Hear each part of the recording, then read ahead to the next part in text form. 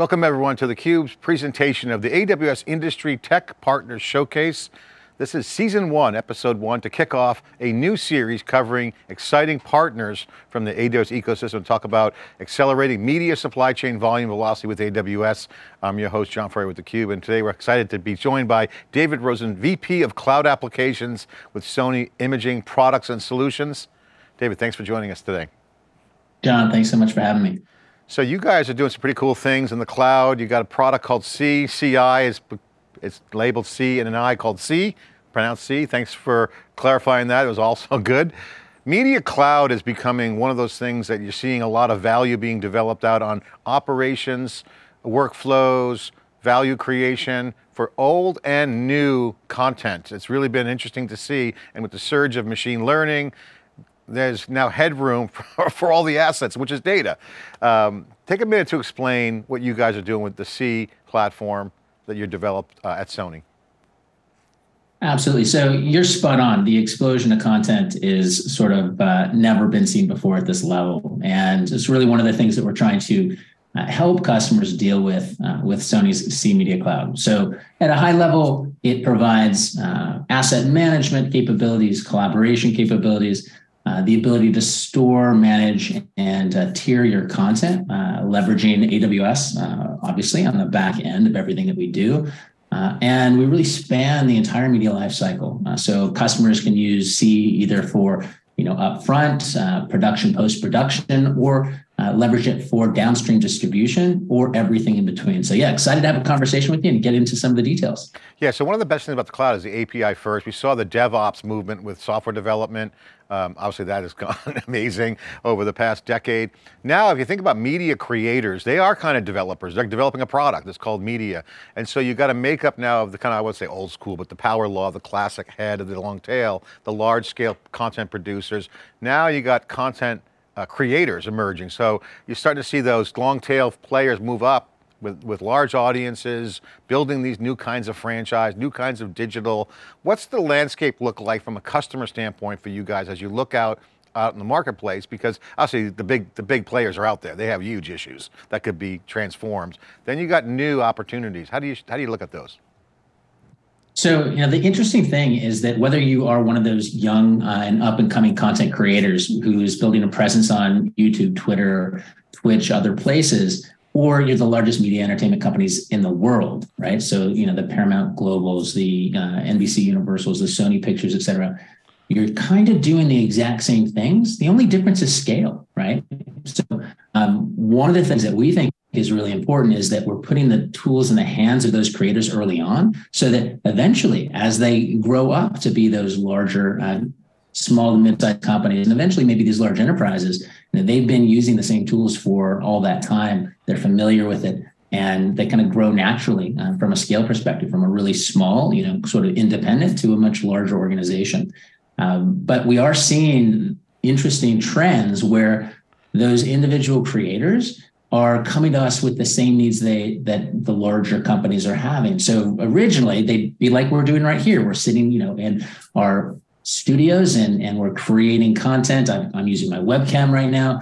And they're going to post that to YouTube or something else. And that works really well. They get a following, but eventually they're doing this every day, creating lots of content. And it's sort of like, well, what do I do with all this content? I just filled up my laptop well, now we've got tools, right? You can begin archiving that content in AWS. Ci enables that, you know, really simply. We let you collaborate with people. We're, we're in different places right now and, and we need to be working together. Ci does some similar things where you can comment and annotate and allow these small creators and these smaller teams that may be remotely distributed to be working together as if they're in the same room. Uh, so some interesting trends, but I think the, the, the key takeaway is that we want to make sure that we're providing tools that are catering to the largest media enterprises in the world, all the way down to the individual creators. Yeah, I think that's really key. I think you mentioned that scale piece that brings the cloud in, but also your core competency is serving those creators, connecting teams and content devices together um, as a, you know, from the front end all the way to the back end with the cloud. Take us through the relationship now with the media cloud that you guys have, because you got creators that could be one, two, three people, or a large team of people working collaborating together. You got collaboration, you got devices to broadcast to. There's now a mix between the two. Take us through that life cycle. Where does AWS help? What are you guys doing? Obviously, I'm sure APIs are involved. I'm sure there's a reduction of staff needed as you automate, but that's going to move that to creative front end as people move that heavy lifting that they don't want to do. Take us through the end-to-end relationship between cloud and Sony. How does that all work out?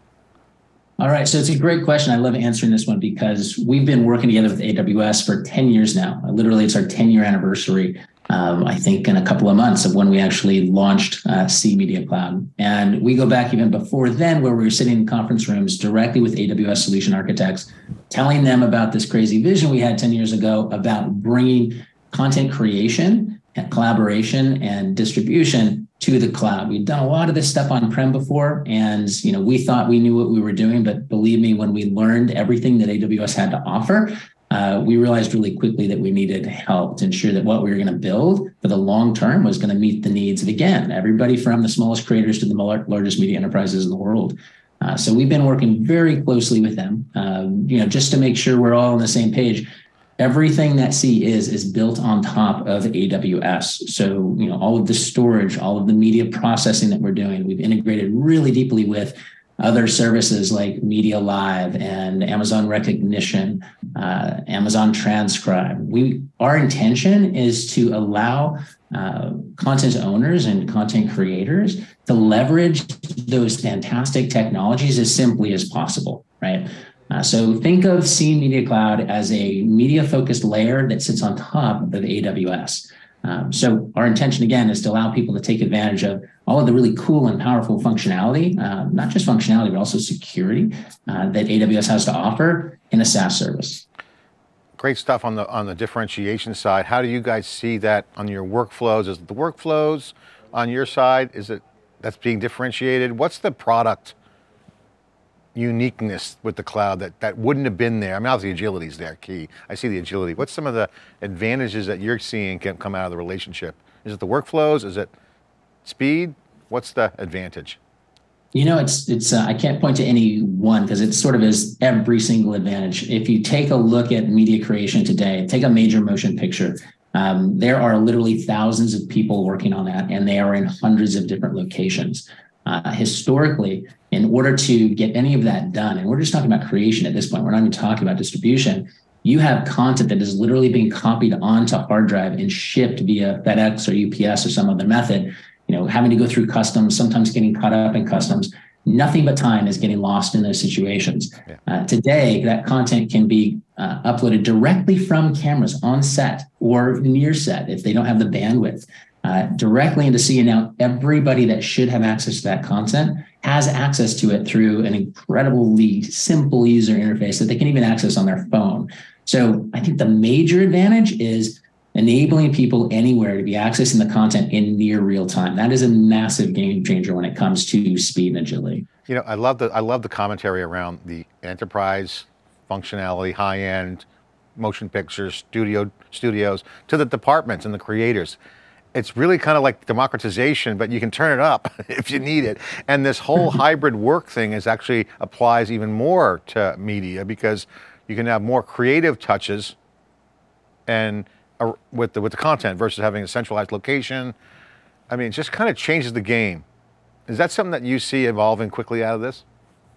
Absolutely. And the good thing is that we're seeing a lot of the you know, traditional players in the industry uh, jump on board, right? So, you know, for the longest time, there was this fantastic ability to leverage the cloud, but the solutions that creatives needed to use weren't quite there yet. They were, you know, still in their journey to the cloud. You know, the major players now uh, have moved significantly and substantially into the cloud. So, you know, there was a fantastic um, discussion at the reach, recent uh, HPA session, Hollywood uh, Professionals Association, where um, Amazon Studios actually talked about how a very large original production did every part of the movie production process and post production process in AWS uh, for beginning to end. And they literally broke down any barriers or preconceived notions that these things could not be done. Uh, they broke those right down and they showed how it absolutely can be done. So, to answer your question, we're now at a place where we've had the infrastructure and the capability for a very long time, with AWS. Yeah. Now we've got the application layer on top of that, and people can begin doing the same work they were doing before, only now doing it significantly more efficiently. And the fun part is from anywhere. You know, David, when I have these conversations with media, because we love media at theCUBE here as well, you know that, we're small, we're small niche, uh, B2B enterprise, but you're talking about large movies, now you're getting back to the creative process. It kind of reminds me of the entrepreneurial side of filmmaking and media there's a renaissance merging. You're seeing the stars come out of YouTube and TikTok, whatnot. They get a lot of audience numbers. You're seeing kind of a new entrepreneurial creation of media. This is enabled by the clouds, enabled by what you guys do. Do you guys see it that way? Do you guys sometimes zoom out and go, wait a minute, a whole nother game being developed on top of the existing media landscape? What's your, what's your vision on this whole landscape of the new, next new artists and the next new creators? Well, I mean, I think the um, it, it's really clear that we're we're seeing that transition from individual content creators becoming brands in and of themselves, right? Um, there are hundreds of examples of these folks that started out on you know one of these channels like a YouTube, and the next thing that you know, they have major motion pictures, um, or you know, some of them are talking about buying major social media platforms. Uh, so there's no question that they're having a massive impact, uh, not only in sort of you know the change in the talent pipeline, but the influence that they're having on the major media organizations. Um, and that's why, you know, we it, at Sony, we think it is absolutely key to embrace them early on, not wait for them to matriculate up to become one of the major enterprises, but work with them now and give them the tools that they need to be successful, right? So um, that's really one of the things that we try to do with Ci Media Cloud is build an application that literally anybody can you know sign up for and begin using uh, without any training, without any specialized media understanding. Because quite honestly, a lot of these new this new talent, they're not trained in, in media production. I mean, they've got a webcam, right? And they, they bought a microphone from Amazon and they just got started. So yeah. we have to put tools into their hands that um, are as easy to use as, as the tools that they would use to send email or nobody sends email anymore, I guess, but yeah. uh, text or chat or anything else. Yeah it's interesting. They're going to just jump right in with their brilliance and just not have to learn all the things that that are just have to be stand up as scaffolding for getting started. It's so good. T talk about the Ci platform. Uh, value proposition and how people get involved. Like if I want to jump in and use the Sony um, Ci Media Cloud, what do I do? Do I log into a dashboard? Do I download it from the marketplace? How, and what's the target makeup for the customer? I'm sure you had mentioned the large studios, but how do people engage with it? How do they get to use the product? What's the consumption pattern look like? You bet. So we really we cater to both ends of the market. So obviously, large enterprises. You know, we've got the largest media organizations in the world and the largest sports organizations in the world using Ci.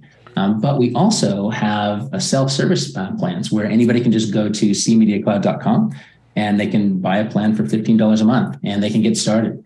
They can take that same plan and they can grow to be as large as any of these other folks as far as the amount of content that they're uh, working with. So very easy to get started. Uh, you can enter your credit card and, and be working with Seed today.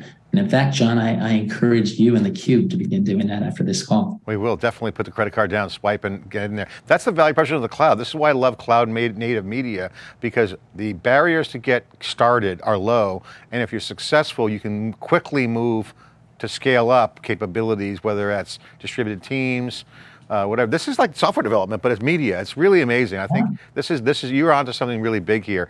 What's the pricing? You mentioned fifteen dollars a month. That's the entry plan. What's the scope of the engagements uh, cost structure? Is it same as cloud, buy as you go, kind of variable based pricing? Yeah, exactly. So, you know, our intention is very much in line with, you know, what I would say um, most kind of pay as you go variable based usage pricing models are. The intention is we don't want to put a big, um, big upfront expenditure down where we need to go through long procurement processes with people we want them to begin using this and, and just pay for what they're using in any given month. So we don't lock people into long contracts. Uh, they can pay month to month. And if they want to stop using us next month, that's perfectly fine with us. We hope that doesn't happen. But um, again, it's easy to get in, easy to get out. And we have a very unique pricing model. Um, literally, I think this is unlike anybody else that's out there right now in that we don't charge per users. Uh, every other platform that we're familiar with out there is charging per user. And that becomes difficult when you scale, right? Because now you have to think and make a decision. Well, is the ROI there for me to let this other group use this tool, as opposed to just letting them use the tool um, and uh, finding out whether or not it's providing the appropriate value for them? So our pricing model is really just based on three things. One is um, transfer. So we have a general subscription that you have, and it comes with a certain amount of usage. But then uh, any transfer that you do over and above what is in your uh, plan is uh, charged. And then uh, the third one is storage. And the nice thing is that we allow anybody to use their own AWS account. So we can just point directly to the storage that you already have. So if you have a fantastic deal, um, with AWS, then you should absolutely leverage that. And we encourage people to do it. Uh, but that's it. It's as simple as that. You pay for what you use. That's a great model. And if your Amazon, if Amazon customers are already out there, they just connect to their account. Awesome. Uh, final question for you is, what's the relationship with AWS? Talk about the, how they're helping you. Obviously, they have their partner network, which is strong. Uh, you're building a stack on top of AWS, which is great. You they have all the CapEx. You can leverage that pricing model in the market, which is great.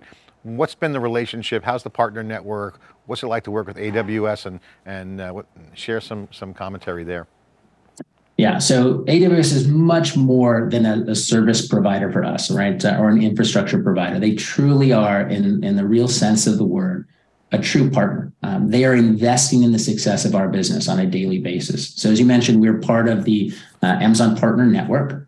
Uh, and along with that comes not only a lot of guidance around best practices and how we can be more successful and how we can make sure we're explaining the value proposition to customers, et cetera. So they certainly provide that, um, but they also help us uh, with respect to you know go to market motion and they've got aws marketplace which is a fantastic opportunity because it allows customers to take advantage of various partner services and uh, there's significant advantages to those customers and in, being able to uh, leverage their overall enterprise deals with AWS. That's something that we are currently onboarding uh, in the process of onboarding too. So customers will be able to purchase Ci directly through Marketplace, hopefully here in the next few months. Um, but I can't speak highly enough uh, not only of the company of AWS for uh, the investment that they're making with us, but the quality of the individuals, all the way from you know the partner development managers uh, to the um, solution architects that are dedicated to our account to make sure we're up to speed on what the latest and the greatest is, uh, and ensuring that we're able to bring the latest innovations to our customers. So, uh, really fantastic partners all the way around. It's a great example of letting you guys do what you do great letting them scale up. You guys take advantage that, ride that CapEx wave and, and the technology innovation. Final closing question, close us out. What's going on Sony, on your world? What are you investing in? What's going on with, with your opportunity? How things going? Give us an update, put a plug in, what's happening? Okay, I love this part. Um, so we're doing some really exciting things. Uh, Ci, like I said, has been around for 10 years, uh, but Sony has just recently launched something called uh, Sony Creators Cloud.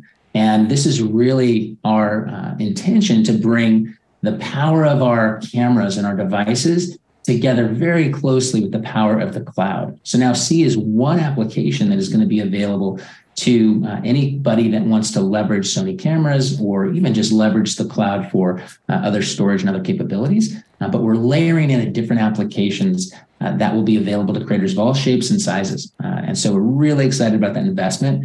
And we feel strongly there's no company, really no other company in the world that has both the expertise in camera manufacturing, what creators need to use in order to, to create their, their, their, their content, together with the expertise around cloud and how to manage content and collaborate with others. So we're really excited to bring that to uh, to people this year. Well, you just gave us a little big teaser because we know what happens with cloud. You got the edge, you got IoT cameras. Hmm, hmm. I think I'm connecting the dots here, David. A lot of innovation opportunities happening. Congratulations. Thank you so much. You're part of the season one, episode one, inaugural showcase was featuring Amazon Web Services industry tech partners, the leading ones, innovating with the, the cloud and, and expanding their mission here on theCUBE. I'm John Furrier, thanks for watching.